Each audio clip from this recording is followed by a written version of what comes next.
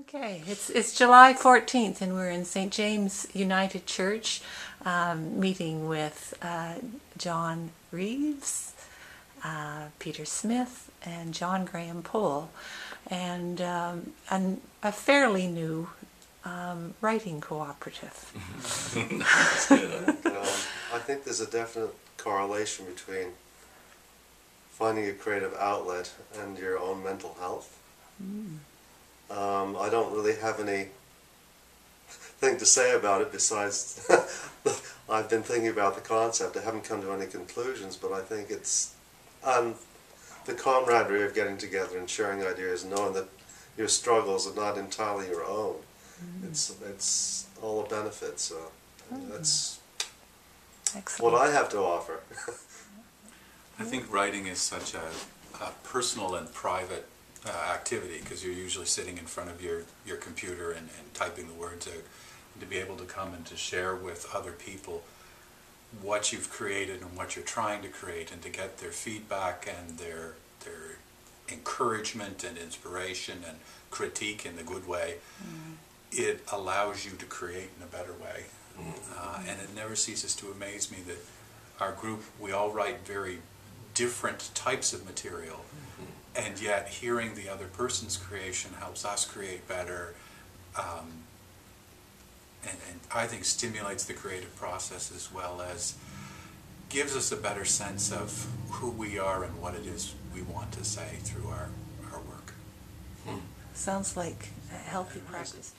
I didn't know these folks really, other than who they were, before we started. And Anne Louise, I was absolutely the same. I've certainly never met her before. But now we uh, know each other in a way that I think we would never share with the outside world for the reason that we've shared a lot of confidences. And I don't mean bearing our souls, you know, exactly, but almost. You know, so, so we really, because when you write, and when you talk about your read, and then you talk about your writing, you really, I mean, really, whether you're writing uh, science fiction or, you know, whatever, it doesn't matter. The fact is that, uh, that, that it brings you closer in a very, very good way. And we don't I mean, frankly, I think we'd feel a great loyalty to each other, which is certainly about health and healing. I think we'd feel like, you know, we would go to each other's aid, actually. No, I mean, I never would have thought that. But I think we would. I think if there was something came up, for any one of us, we'd say, you know what? Or I hope that somebody would, if they would, we'd come to each other's memorial services. I would find likely to be the first. No, from the actual therapeutic aspect of writing and writing in company or reading in company. I I think through what we're doing, we're helping each other to share parts of our souls and our Yeah. spirits, and and that is is so meaningful for myself as someone trying to express that part of myself through words. And I know I feel so much better personally when I hear what John and John and Anne Louise Mm. have written and and how they're they're you know sharing this journey with me. Uh, Gosh, yes. it's you know you feel like you have a community who are supporting you in something that as i said is, is sort of very personal very private and yet very public and very like i said uh, an expression of, of who we are and, and what we hope whether we're writing a memoir whether we're writing about a, a specific subject whether we're writing for children or whether we're writing something very mm-hmm. serious or very silly it's it's really uh, a very a personal self-expression that we do together as a group Yeah, yeah. That's it. Sounds like Yeah. a cooperative. There's something about a writing cooperative that it needs to be small in order to mm-hmm. share those kinds of intimacies and there also needs to be a level of trust because it's a very personal amount of sharing that you're doing.